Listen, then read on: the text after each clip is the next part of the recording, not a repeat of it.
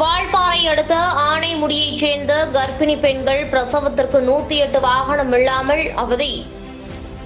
கோவை மாவட்டம் வால்பாறை அடுத்த ஆனைமுடி எஸ்டேட் சேர்ந்தவர் திவ்யா கணவர் பெயர் மணி. நிறைமாத கர்ப்பிணி இவர் பிரசவத்திற்கு வால்பாறை அரசு மருத்துவமனைக்கு வருவதற்கு நூத்தி எட்டு ஆம்புலன்ஸுக்கு தகவல் தெரிவிக்கப்பட்டபோது தற்போது சேவை வாகனம் இல்லை வர ஒரு மணி நேரமாகும் என கூறியதால் தனியார் வாகனம் மூலமாக மருத்துவமனைக்கு கொண்டு வரப்பட்டது. பரிசோதனை செய்த மருத்துவர் மற்றும் செவிலியர்கள் பொள்ளாச்சி ஜிஹெச்சுக்கு பரிந்துரை செய்யப்பட்டார். மேலும் நூத்தி எட்டுக்கு செவிலியர்கள் தொடர்பு கொண்டபோது அவசர வாகனம் இல்லை என தெரிவித்தார்.